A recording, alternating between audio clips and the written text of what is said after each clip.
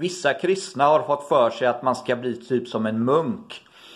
Eh, att man ska gömma sig från världen för vi är inte av denna världen och det är vi inte. Vi tillhör inte världen. Jesus har tagit ut oss ur världen. Men Jesus säger också att vi ska bli ett ljus i denna mörka värld. När vi följer honom så blir vi ett ljus. Och, vi, och man lä lägger inte ett ljus under skeppan så att det dols.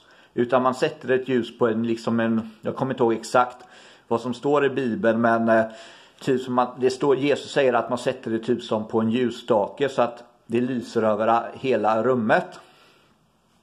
Och så är det. När vi följer Jesus så måste vi bli ett vittne till andra människor om att, vi, om att vi har funnit Herren, om att han finns och existerar. Och då måste vi vara ett ljus i denna värld, så det är helt obibliskt att till exempel vara nunna eller munk och gömma sig i, ett kloster. Det kan man inte vara. Det är helt obibliskt. Är man det så gömmer man sig från världen och man kommer brinna i helvetet. Så är det. Ha det bra. Gud välsigne dig. Hej.